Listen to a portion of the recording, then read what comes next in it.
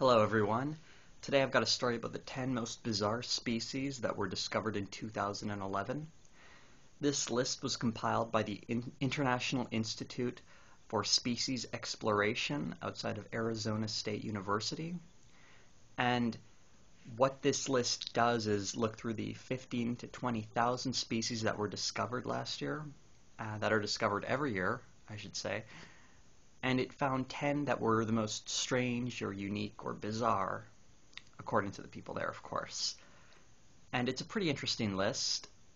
And what people don't realize is we've got about 2 million or so species categorized on the Earth, but it's estimated that there could be between 8 and 12 million. So there are loads to find out there, and these are just some of the strangest ones that were found in 2011. So I hope you enjoy. So I should mention this list is in no particular order. So we're starting off with the night blooming orchid, or the Bulbophyllum nocturnum. Now it's a sad looking flower that was discovered in New Britain in Papua New Guinea. But what makes it so interesting is the fact that there are 25,000 known species of orchids, and this is the very first one discovered that blooms at night. It opens up at around 10 p.m. and lasts for about 12 hours, so it would sort of close in the next morning. Problem with this flower is, though, it may be at habitat risk due to logging practices in New Guinea, and it, we may have had just a brief opportunity to look at it, sad as it may be. Now this guy is the wandering leg sausage, or curry Crurifarcimen vagans. That's Latin for wandering leg, leg sausage. He's about 16 centimeters long and found in the Tanga region of Tanzania. And he's actually the largest millipede within that region. Now, he's not really the largest in the world. That would be the giant African millipede at 38 centimeters, which is more than twice as long as this one. But this one is especially fat. He's about one and a half centimeters in diameter, and uh, in imperial that would be roughly an inch and it's found specifically in the western Usambara mountain forests, often in decaying wood. Now this species is a little different in that it's not really that rare, or I should say it's not that it's in small abundance, it's just in a very strange location. This is the Nepalese autumn poppy, or Meconopsis autumnalis, and what makes it so special is that it, as you may have been able to tell from its name, it's found in Nepal at an elevation of over 10,000 feet. And this was actually discovered way back in 1962 by uh, the storied Himalayan plant hunter Adam Stainton, and then again in 1994 by staff from the University of Tokyo. It just hadn't been observed as a new species and it was recently rediscovered by a team of botanists who went up to Nepal, traveled miles away from any civilization through monsoon rains, and they managed to find these uh, beautiful Nepalese autumn poppies, and they're quite lovely, and it's great that we know about them now.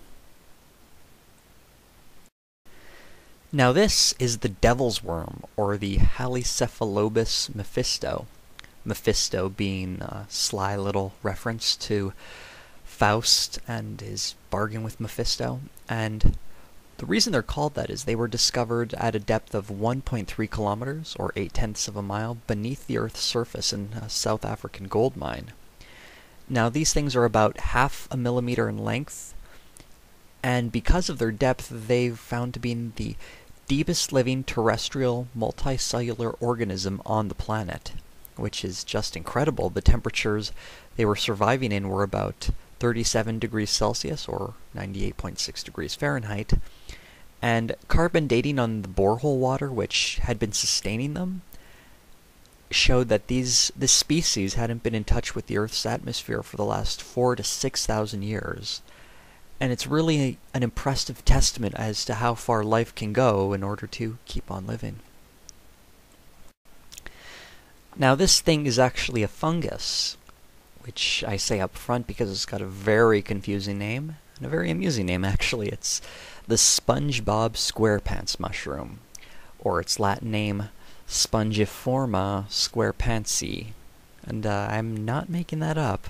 The researchers are apparently huge SpongeBob fans. Well, if you look at this fungus, it really does look like a sponge, and even if you look down at the microscopic level, the little spores also kind of look like sponges as well.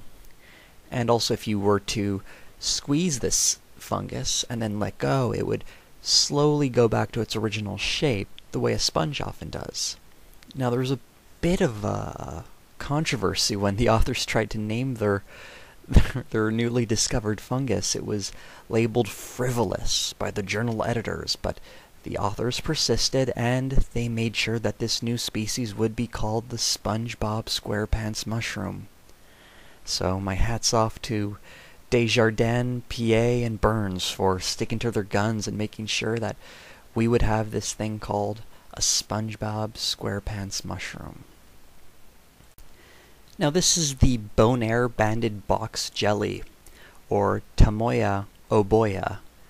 Its name is actually kind of cute. The oboya part is represents Oh Boy, which was submitted by a high school biology teacher in a contest of which had about 300 entries which were submitted just to name this thing. And this jellyfish is quite venomous and box shaped and it's been sighted quite frequently since 2001, but it hasn't really been officially described until 2011. There was a specimen captured in 2008, and it just took a lot of time to examine it and really create a document that accurately describes it. So while this thing wasn't discovered in 2011, that is when it was officially put on the record, so to speak. And we now have the Bonaire banded box jelly. Now this is the walking cactus, or Diania cactiformis, and it was discovered in Yunnan in southwestern China. And what makes this one so incredibly unique is that of all the species on this list, it's the only one that currently isn't alive today. This is a fossil that was discovered about 520 million years ago, and this thing is a Lobopodian, of which there is only one left alive. Uh, those are velvet worms. And it's thought that those evolved into arthropods, which are insects, spiders, and crustaceans. We've got loads of them. They're the largest group of living animals today. And this is a fossil of something that could be an important intermediary step between Lobopodians and arthropods. And it's just a really important find, and it's one of I don't know, 1 million and counting examples that prove the theory of evolution. Not that we needed any more, but it's really interesting to see how the smallest creatures out there have evolved as well as, you know, the big ones. Now this is a really cool new species. It's called the Brachynodae. I'm sure I got that wrong. Or Kollasmosoma sentum probably got that run wrong as well. And this is a parasitic wasp that cruises at about one centimeter above the ground. And what it does is it looks for an ant. And when it goes to this ant, it attacks it. And it strikes in about 0.052 of a second. And what it does is it lays these eggs, or its larvae, I should say, into the ant. And well, that's basically it for the ant. It, larva develops within them and eventually hatch, and this wasp gets to continue living. What's so cool is that that little exchange, that quick little stab into the ant can be so incredibly quick. And uh, I've included a picture to try and capture that. I don't know how good a job it does, but you can sort of tell it's pretty quick. Now this thing kind of freaks me out a little. It's Sazima's tarantula, or Pterinopelma sazimai, and this was discovered in Brazil and is named after uh, the famous zoolo Brazilian zoologist Dr. Ivan Sazima. And this is, while not the first blue tarantula ever discovered, it is probably one of the most distinctively colored. It's got that really bright blue coloring and it's kind of freaks me out. Uh, for those who don't know the difference between a tarantula and uh, an arachnid, a tarantula's a more primitive, I guess, type of spider in that it pounces on its prey, whereas arachnids spin webs.